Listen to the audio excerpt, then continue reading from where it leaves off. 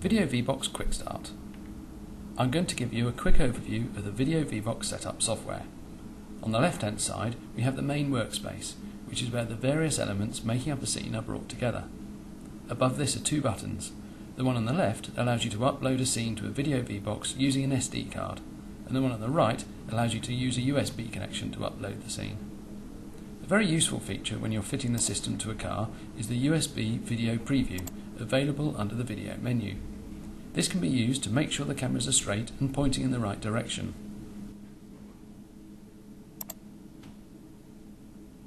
On the right hand side we have the Scenes tab, the Elements tab and the Layers tab.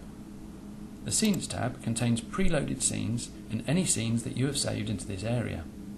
You can simply drag and drop a scene from this tab directly into the main workspace. Underneath these scenes are the corresponding scene properties. From here, you can change various parameters such as the log settings, the video quality, the lap timing parameters, any CAN inputs, and you can also create a new math channel.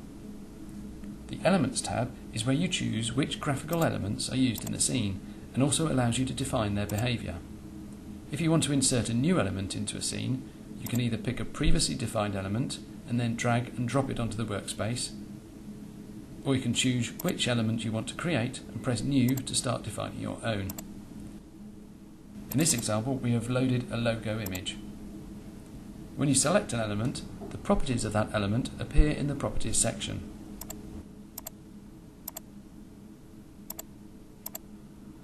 Once you have selected an element, you can drag it around using the mouse, and some elements, such as images and picture-in-pictures, can be resized by clicking and dragging the corner of that element. To keep the aspect ratio, simply hold down the Shift key whilst you change the size.